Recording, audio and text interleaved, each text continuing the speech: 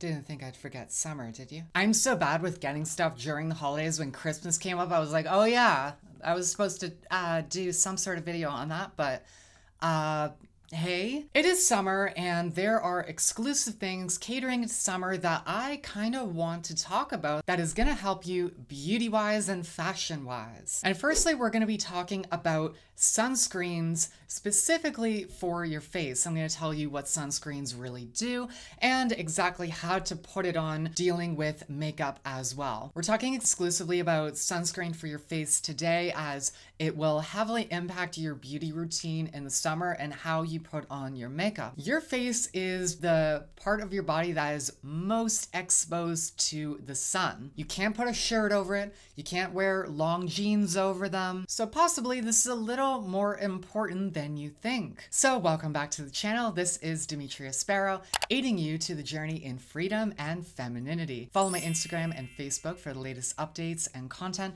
and if you like videos like this, be sure to subscribe. Disclaimers for the video coming up, I am still dealing with gum surgery, so I had to wear a night guard. That's why I have a lisp. But firstly, we need to talk about exactly what sunscreen is. Sunscreen is a product meant to absorb or reflect the ultraviolet, as in UV rays that cause sunburn. Usually comes in a lotion, spray, stick, gel, or some sort of cream. Concerning skincare, well, the deal is it is the most important part of every skincare routine, particularly in sunny weather and in sunny areas. 90% of premature aging comes from sun exposure. Sun exposure can also lead to other skin issues like breakouts, acne scarring, or dark spots. Exposure to UV rays damages your skin. So if you're dealing with any skin issues, it's only going to further worsen those issues when you're exposing yourself to the sun. Treatments you undergo to help with skin issues and other skincare products like moisturizers, serums, or exfoliators, all those things will not really matter once the sun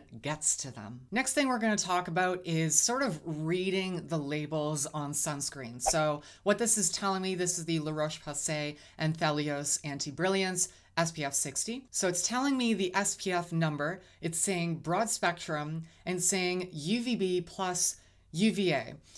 So what do all these mean? SPF, for one thing, stands for Sun Protection Factor. It is a measure of how well sunscreen protects against UVB rays. It's not measuring the amount of time you can stay in the sun without dealing with sunburn. So if it's an SPF 30, that means it's going to protect against 30 times more exposure to the sun than if you didn't wear sunscreen. That basically adds up to SPF 30 having a 97% protection. So SPF 15 is about 93% protection, SPF 50 blocks 98%, SPF 100 blocks 99%. This is sort of where you hear the idea that anything above SPF 30 is not that much bigger a deal. You're dealing with a 1% increase in protection at that point. So for one thing, when we're talking about UVB and UVA, those are both UV rays, but they affect your skin a little different. When the standard for SPF was originally being made, there was only the conception that there were UVB rays. And so SPF usually tends to ignore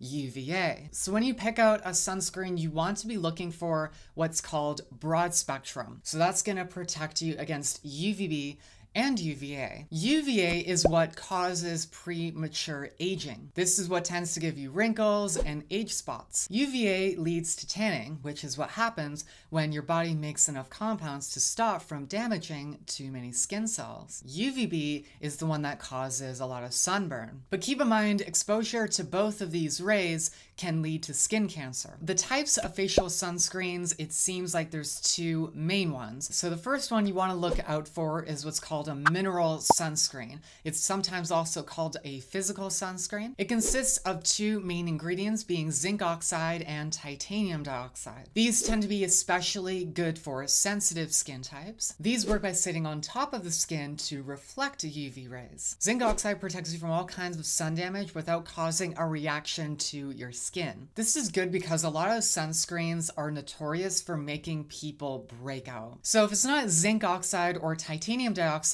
what you're probably dealing with is the other type of sunscreen, which is chemical sunscreens. This is classified by having the ingredients octinoxate, avobenzone, oxybenzone, and homosalate. Rather than sitting on top of the skin, these tend to absorb into the skin. So chemical sunscreens are often disputed within the skincare community and in the industry. It's speculated whether it can cause more sensitivity to your skin. It's speculated on its actual effectiveness in protecting you from UV rays. And furthermore, it is heavily disputed whether it can have devastating environmental effects. So, the coral reefs, we all know, are suffering horribly. And sunscreen has a lot to do with it. 14,000 tons of sunscreen are put into our oceans every year. Places like Hawaii and Palau have introduced bans on sunscreens that have harmful ingredients. So why does this happen? You're putting on your sunscreen before you jump into the ocean on the beach when your sunscreen comes off of you. All of those chemicals are just leaking into the water and the corals start to absorb those ingredients. It's chemicals like oxybenzone that can have devastating effects on the coral reefs. These substances contain nanoparticles that disrupt the reproductive and growth cycles of corals, and this inevitably leads to them bleaching and dying. Non-nano and zinc oxide sunscreens are regarded to have a far better environmental effect rather than chemical sunscreens. I think we all have our own job to do in protecting the environment and sort of looking after our carbon footprint. Picking out an environmentally safe sunscreen can mean wonders in the long run. Sunscreen is ultimately the last thing you put on in your skincare routine. Once you put on your moisturizer or serum or what have you, you want to put on your sunscreen, take a teaspoon amount and massage it all close in the nooks and crannies. Make sure you're obviously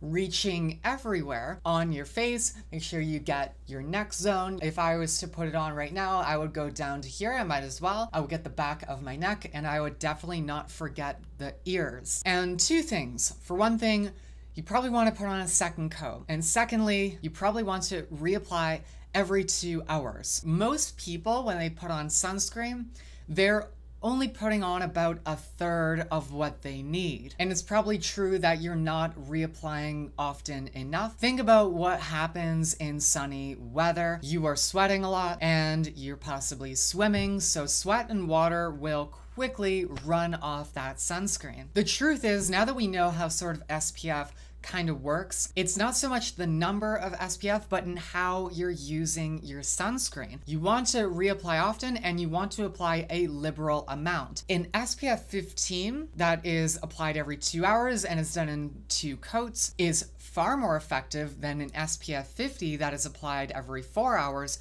and you're only putting one coat, like a very thin coat on. When you're picking out a sunscreen, I'm gonna have a ton of products down below that are gonna fit your skin type and sort of what you want. Firstly, you want to know your skin type. You're gonna be picking a product based on if you have dry skin, if you have sensitive skin, if you're very oily. So dry skin needs hydrating ingredients like ceramides or something like hyaluronic acid. For dry skin, it's often recommended to get an alternative, sort of like a BB cream or a tinted moisturizer that actually has an SPF in it. Oily skin basically needs a matte finish. You want something that can help with oil control. And with stuff like the La Roche-Posay Anthelios, it's amazing how much your perspective can sort of change. You're like, oh God, I gotta put sunscreen all over my face. I'm gonna start greasing up. When you get something that sort of manages that oil and kind of mattifies your face, it's really amazing. What's also great for oily or acne prone skin is a powder sunscreen,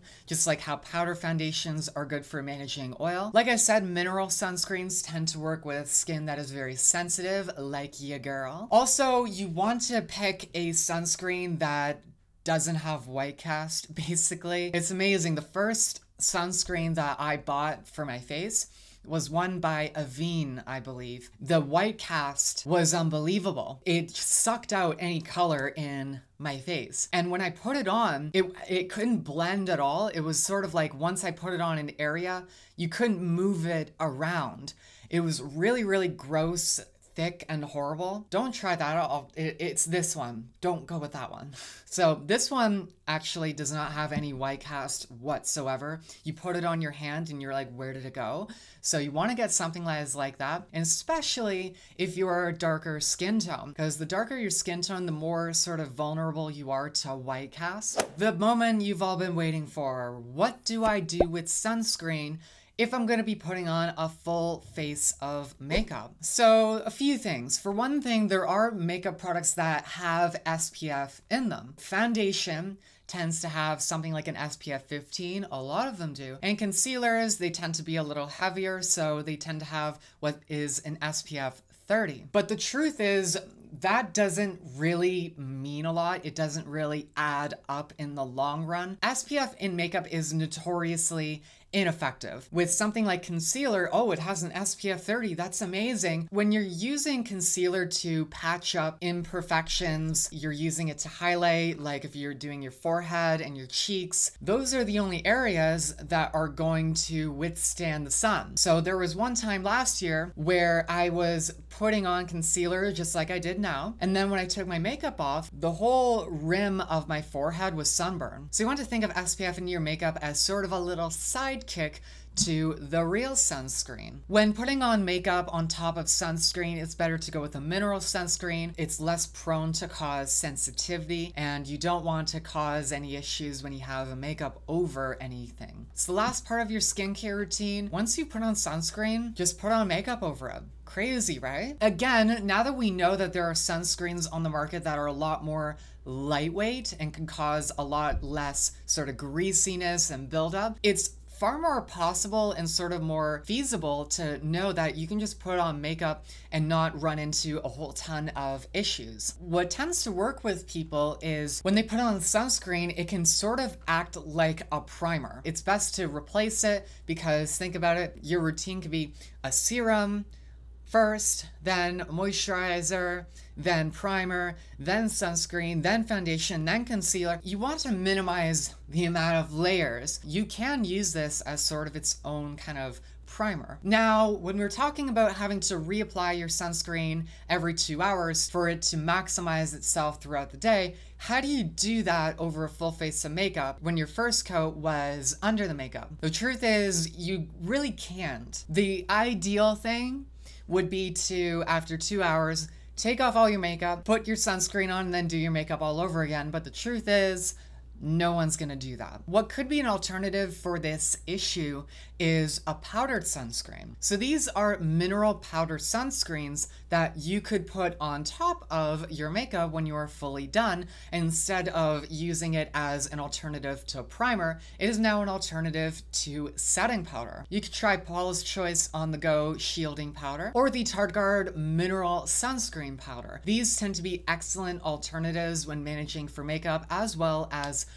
oil control. The only thing I would preface this with is we sort of know that if you put on too much powder, you could start caking yourself up. So if you have to reapply this every two hours, think about what it could end up looking like at the end of the day when you've done possibly three or four touch-ups. So I'm gonna list a bunch of sunscreen products for you. All of them are a little bit different and will aid you in certain needs. First is the REN clean screen or is it Ren? First of all, all these are broad spectrum. This one is broad spectrum. It is a zinc oxide only mineral sunscreen. It gives off very little white cast and manages oil and provides a mattifying effect. Next is the CeraVe mineral sunscreen. This one tends to be a little bit more on the economical side, like CeraVe is. This is lightweight, with titanium dioxide. And to the relief of the coral reefs, it is oxybenzone friendly. The Tarteguard powder, as I said, is very, very helpful. You can reapply this several times throughout the day without getting all greased up and you can basically put it over makeup. Next is the one I have, the La Roche-Posay Anthelios Anti-Brilliance. This is an SPF of 60. I've been loving this. This has helped me so much and is a relief that there is zero white cast. And you'll find with uh, sunscreens like this, they don't have that kind of gross, kind of chemical sunscreen smell. Smells nice. This is also water resistant for up to 80 minutes. The SkinCeuticals Physical Fusion UV Defense. This is actually a tinted sunscreen. It adheres to sensitive skin as well as mature skin. It's non-comedogenic, there's no fragrance, and it is free of dyes. Supergoop Unseen SPF 40 is excellent for darker skin tones. Very, very sheer and it dries down matte. The Black Girl Sunscreen SPF 30 is actually formulated by women of color. It is sweat resistant and provides an invisible finish. The Cetaphil Pro Oil Control Moisturizing Lotion. As it is in the name, it is meant for oily skin types. It is lightweight and non-comedogenic. And lastly, the Supergoop Glow Stick, a formula that adheres to more dry skin types. It comes in a stick. It's a little bit of a heavier formula to help with drier skin. Pretty much it leaves you with a very nice, hydrated, dewy sort of finish that I think you're gonna really, really love. I hope you are ready for summer and you have the tools necessary to pick out the right sunscreen for you. I am ready for summer. So if you have any concerns or questions, please comment down below. I am not a big YouTuber, so I will surely answer all of your questions. Stay beautiful, everyone. Take care.